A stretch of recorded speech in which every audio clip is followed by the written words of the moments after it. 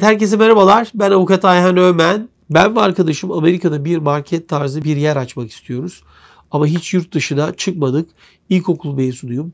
Daha önce de çalışan birisiydik. 150-200 bin TL paramız var. Amerika'da bir dükkan nasıl açıp orada nasıl yaşayabiliriz diye bu takipçimiz bize soruyor. Ee, benim size tavsiyem öncelikle Amerika dışına çıkabilecek bir durumda olmanızda fayda var.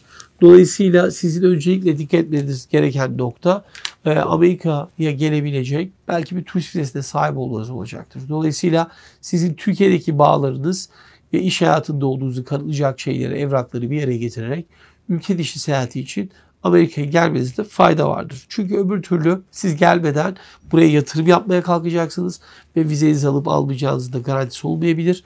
Dolayısıyla tavsiyemiz öncelikle bu kadar bir bütçeniz de varsa öncelikle ülke dışı seyahatinizi gerçekleştirmeniz ve burada memnun olacağınız bir iş belirleyip ondan sonra yatırımı yapmanız olacaktır deyip takipçimizin sorusunu cevaplamış olalım.